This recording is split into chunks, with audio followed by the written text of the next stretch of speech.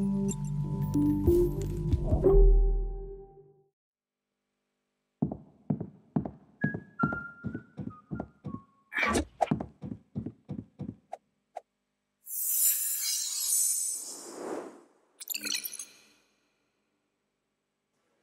Herzlich willkommen zu DINACON 2023. Schön haben Sie alle den Weg hier nach Bern gefunden, den Weg in den Progr gefunden. Mein Name ist Noah Freiberghaus, ich studiere Multimedia Production im fünften Semester und freue mich sehr, euch heute hier durch diese DINACON 2023 begleiten zu dürfen.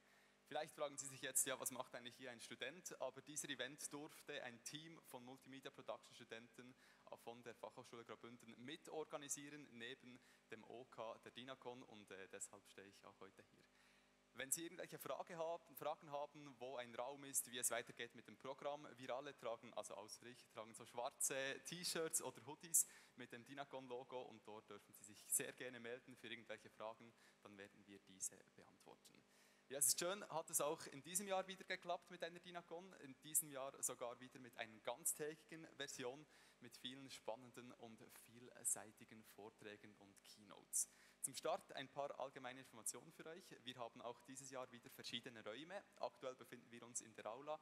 Hier finden vor allem die großen Keynotes, es finden die Mobilitätssessions und auch die Podiumsdiskussion statt.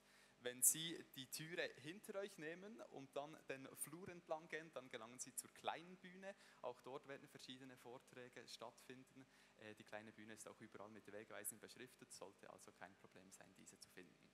Wenn Sie zum Pakt gelangen wollen, auch dort finden Vorträge statt, dann müssen Sie durch diese Tür hinter mir gehen, ins EG runter und auch dort ist dann wieder alles angeschrieben. Das Mittagessen findet in der Torhalle statt. Da müssen Sie wieder diesen Eingang oder Ausgang nehmen, die Treppe runter und dann links, also eigentlich gerade ein Stockwerk unter uns. Da gibt es etwas Warmes zu essen um 12.30 Uhr, damit natürlich an diesem frostigen Tag alle ein wenig aufgewärmt sind. Das ganze Programm, wann welche Präsentation stattfindet, das finden Sie mit diesem QR-Code. Diesen haben Sie alle beim Eingang erhalten. Er ist auch immer hier auf diesem Bildschirm ersichtlich oder jetzt auch auf dem Beamer. Wenn Sie diesen QR-Code scannen, dann gelangen Sie einerseits zum Programm des heutigen Tages, andererseits zum WC-Code, ist auch sehr wichtig, und ihr kommt zum QA-Tool. Während den Vorträgen hier in der Aula haben Sie nämlich Möglichkeit, über das Smartphone Fragen zu stellen. Diese Fragen werden wir dann anschließend der Session ähm, probieren zu beantworten. Ihr müsst aber nicht selber Fragen stellen oder könnt, ihr könnt selber Fragen stellen, aber ihr könnt auch andere Fragen liken. Also wenn ihr findet, jemand anderes hat eine super Frage gestellt, könnt ihr diese liken und die beliebtesten Fragen werden wir dann zusammen beantworten. Also unbedingt das Smartphone nach vorne nehmen, den QR-Code scannen und das QA-Tool nutzen, um Fragen den Speakern zu stellen. Dieses Jahr haben wir auch ein Gewinnspiel für Sie vorbereitet. Ähm, wir haben ein neues Dinacon-Maskottchen entwickelt. Hier wunderschön unsere Dina. Ähm, wir haben diese hier im Raum versteckt einige Male und wenn ihr ähm, beim Gewinnspiel mitmachen wolltet, dann solltet ihr gerne hier in der Aula euch ein wenig umschauen, wie viele Dinos es hat. Beim Eingang hat es dann eine schöne Vase mit Zettelchen und könnt dann euer Tipp abgeben, wie viele Dinos ihr hier im Raum gefunden habt. Und am Ende gibt es dann auch so eine wunderschöne Lego-Dina zu gewinnen und dazu noch ein Ticket für die DINACON 2024, also unbedingt in den Pausen ein wenig rumschauen, wo das die Dinas sich befinden und dann äh, am Wettbewerb teilnehmen. Zeit für diesen habt ihr bis heute Nachmittag um 16.20 Uhr. Genug Infos würde ich sagen. Wir beginnen gleich mit der ersten Keynote, aber jemand möchte euch noch begrüßen in seiner Stadt, sage ich jetzt mal. Ähm, 2015 war er Nationalrat, 2007 ist er Nationalrat geworden bis 2015. Jetzt ist er Stadtpräsident. Ich würde sagen, ich lehne mich jetzt zum Fenster raus von der schönsten Stadt der Schweiz, wenn nicht sogar der Welt. Ich begrüße ganz herzlich unseren Stadtpräsidenten Alec von Grafenried. Einen großen Applaus.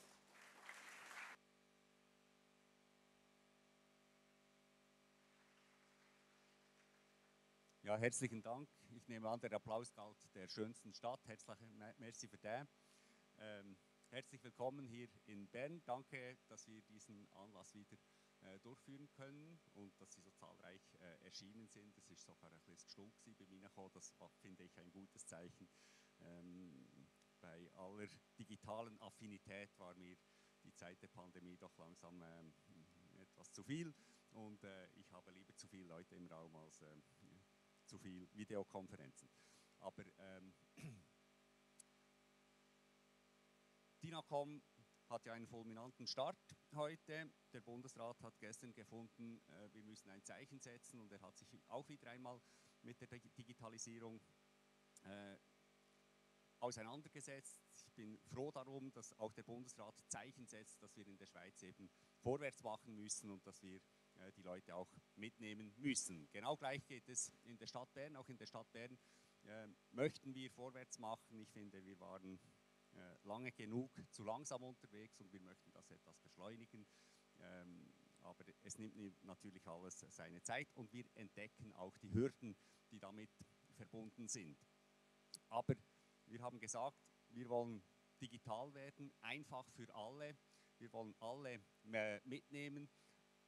Und ich hatte gestern ein spannendes Treffen mit dem Rat der Seniorinnen und Senioren. Wir sind ja die Stadt der Beteiligung. Wir versuchen mit allen Anspruchsgruppen zu sprechen.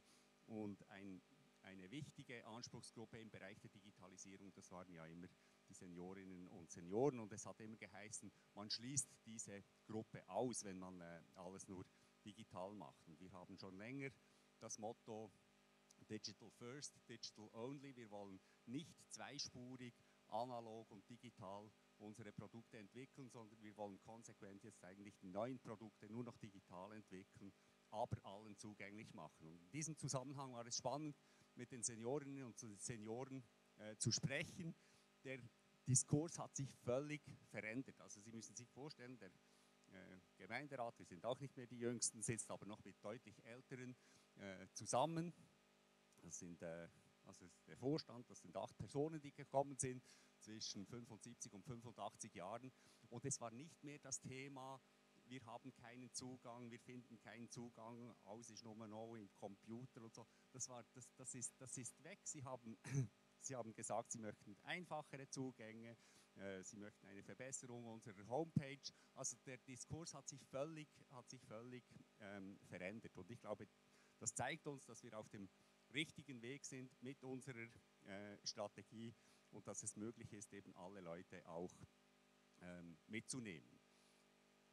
Dafür möchten wir auch die nötigen Voraussetzungen schaffen. Ich bin froh, dass seitens des Bundes jetzt die Rahmenbedingungen sich auch langsam äh, verbessern. Wir arbeiten daran, wir möchten ein großes äh, Bernportal erarbeiten. Wir möchten, dass der Zugang, dass wir einen einzigen Zugang haben zu allen Dienstleistungen, mindestens zu allen öffentlichen äh, Dienstleistungen. Dafür arbeiten wir mit dem Kanton zusammen, mit den anderen Städten im Kanton äh, zusammen, damit wir Bundesdienstleistungen, kantonale Dienstleistungen und die kommunalen Dienstleistungen für alle, also für die Bevölkerung in der Stadt, aber auch für die Gäste, die wir in der Stadt haben, zusammenfassen äh, können und äh, für alle erreichbar machen können.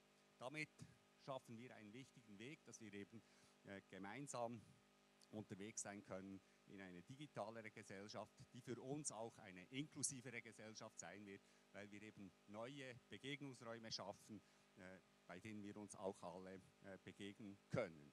Ein Thema dabei ist zum Beispiel, also wir versuchen wirklich das breit zu fassen und ich, wir haben immer auch wieder Diskussionen mit unseren Verkehrsbetrieben und unsere Verkehrsbetriebe sind gekommen und haben gesagt, wir können jetzt noch größere, ähm, noch teurere, äh, noch kompliziertere Automaten aufstellen, wo man sein Billet an jeder Tramstation äh, lösen kann in, für die ganze Schweiz. Und ich habe gesagt, hört doch auf mit dem. Wir alle haben, diesen, haben den, den Computer bereits bei sich. Ich möchte vielmehr, dass wir darauf setzen, dass wir ähm, äh, Tickets digital lösen können, dass jeder das Ticket eben mobil lösen kann, überall, jederzeit, dass wir äh, auf, die, auf die neuen Tools setzen und dass wir nicht mehr diese monströsen Automaten, die dann vandalensicher sein müssten äh, und die, die Sicherheit konsumiert 90 Prozent der Investitionskosten dieser Automaten, dass wir darauf ähm, setzen müssen.